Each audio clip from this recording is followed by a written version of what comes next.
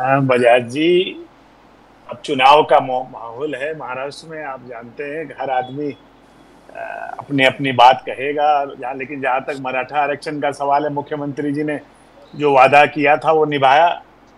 और 20 फरवरी 2024 को उन्होंने स्पेशल अधिवेशन बुला के 10 परसेंट आरक्षण जो संविधान में टिक सके ऐसा विधानसभा में एक मत से पास करवा के दिया।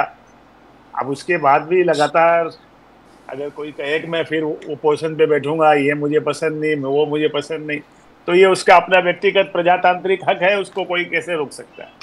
अब एक बैठेगा तो ओबीसी के नेता हाके साहब जो हैं वो भी कहेंगे अगर ये ये मांग पे उत, उतरेंगे तो मैं भी उतरूँगा। जी। तो प्रजातंत्र सबके लिए खुला है संविधान सबको अधिकार देता है अपनी मांग को रखने का और अपनी बात मांग को मनवाने के लिए अपने तरीके से प्रजातांत्रिक तरीके से आंदोलन करने का।